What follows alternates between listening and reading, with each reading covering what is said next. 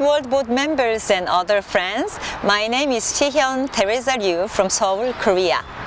On behalf of SIGNIS Korea, I would like to make a brief presentation about our proposal for hosting 2021 SIGNIS World Congress in Seoul. I'm standing here in front of the statue of Saint Andrew Kim, who is the first Korean Catholic priest. Witnessing to our faith, Saint Andrew Kim died a martyr at the age of 25 after preaching gospel and serving the Catholic community for a little less than a year. Although he served as a priest for only briefly, the footprint of his persevering love and zeal has left a strong impact on all Korean Catholic believers even until now.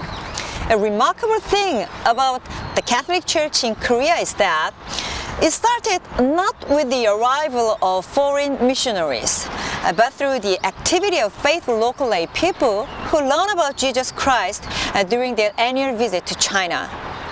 Our church has continued to grow with many fruitful results on the basis of their faith and the blood of many martyrs.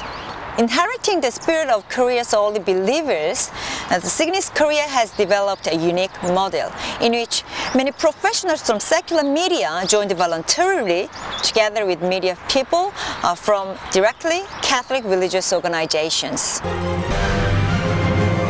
SIGNIS Korea means Catholic Association for Communication in Korea, which is the community of Catholic faithful working in the field of communication as journalists or broadcasters. Since its start in 2001, SIGNIS Korea has continued to grow. Currently, it has about 600 members. In terms of the motto of SIGNIS, a media for a culture of peace, peace on the Korean peninsula is very, very important for peace in the whole world.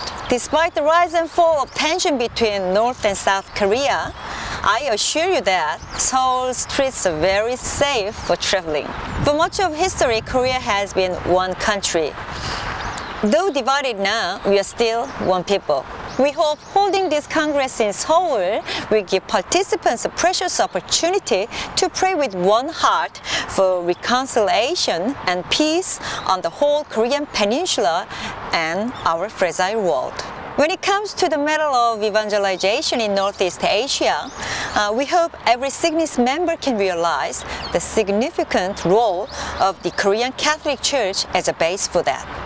In addition, I believe you will be able to experience the Korea's strong IT technology and the increasingly globally popular culture of the Korean wave while joining uh, the Congress in Seoul. Regarding venue and residence for this event, uh, we find Catholic University of Korea uh, has very good facilities for our Congress. This is located in Seoul and run by Seoul Archdiocese. They have promised full support for this event. Finally, I invite all of you to Korea, land of martyrs.